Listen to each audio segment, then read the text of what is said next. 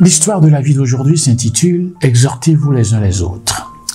Alors, je vais vous raconter une histoire qui m'est arrivée. Cette histoire m'a fait sourire dans un premier temps, puis m'a interpellé profondément ensuite. Et chaque fois que je suis déçu de mon sort dans la vie, je m'arrête pour penser à cette histoire. Vous savez, mon fils, il s'appelle euh, Femi. À l'époque, de l'histoire, il avait 10 ans. Alors Femi, aujourd'hui, il a 22 ans, bien sûr. Femi s'entraînait pour jouer un rôle dans une pièce de son école. Inès, sa mère, m'a dit qu'il avait à cœur d'en faire partie, bien qu'elle craignit qu'il ne soit pas choisi.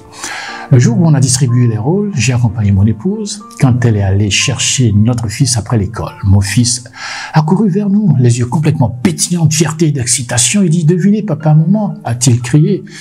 Puis il dit ces paroles qui demeurent une leçon pour moi. Il dit, on m'a choisi pour applaudir et encourager. Je peux me répéter, on m'a choisi pour applaudir et encourager. Trop de personnes sous-estiment l'importance de l'encouragement et pour beaucoup, il est secondaire. Les gens sont avares. Cependant, nous en avons réellement besoin, non pas pour flatter un ego démesuré, mais pour nous aider à aller de l'avant. Même un homme comme Paul l'apôtre a eu besoin, à un moment donné de sa vie, de se retrouver sous le ministère d'un fils de l'encouragement comme Barnabas. Il a été pour Paul, Barnabas bien sûr, une source de bénédiction. Barnabas a su apprécier et aider Paul à aller plus loin quand personne ne croyait plus en lui.